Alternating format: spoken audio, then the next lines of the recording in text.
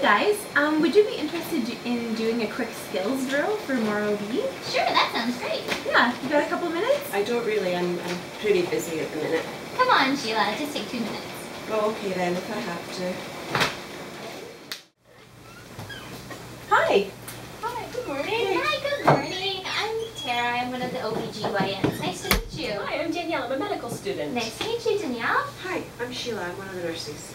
I'm Christine, I'm a midwife. What are you guys doing? We're going to do our skills drill. Want to join us for the MORE OB program?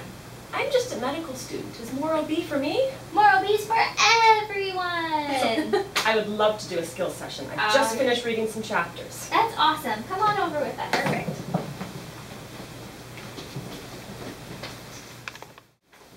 Okay, so here's my uh, patient, and she's pushing, pushing, pushing, and the head's born, and ooh, I think I have shoulders, so I'm gonna call for help. Hi, Christine. I'm Tara. They will be on here to help you. Oh, perfect. Hi, I'm here to help. Great. I'm one of the nurses. Great, could you help me? I'm the medical student. I'm here too. Perfect.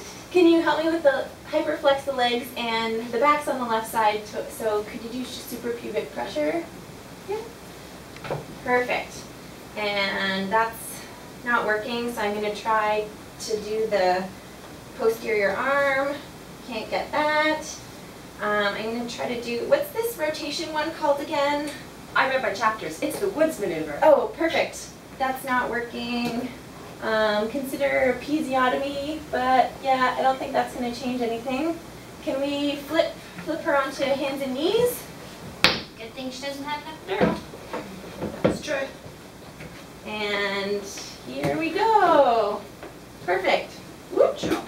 Excellent. Yay. That was great teamwork. Can we switch it up? Can I try now? Sure. You Okay. come on, deliver the next baby.